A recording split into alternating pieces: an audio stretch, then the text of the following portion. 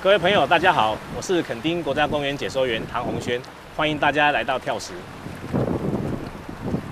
每逢潮汐表里的大潮时段，跳石的海边即裸露出宽广的潮间带，这时候也提供游客观察其间生物的绝佳时机。同时，这里也是垦丁国家公园海域第二个成立的海洋资源保护示范区。潮间带是海洋跟陆地的交汇地区，退潮后会有许多大大小小的潮池。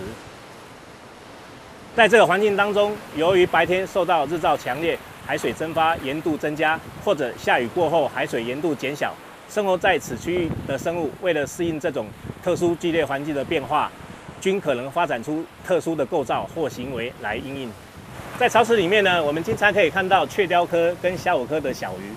由于大鱼无法在潮间带久留，所以呢，潮间带就成为这些小鱼的避难所。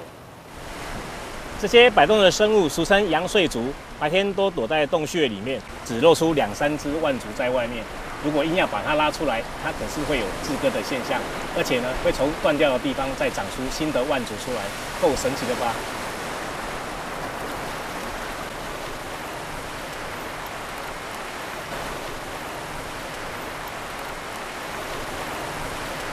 这是荡皮参，属于夜行性生物。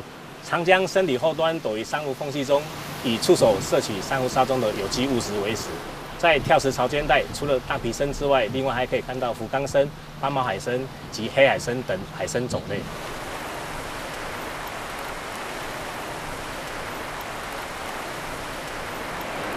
这就是团扇藻，它的藻体呈扇子的形状。在潮池里面呢，经常都可以发现到它的踪迹。根据调查，目前园区内的海藻种类大约有一百三十种左右。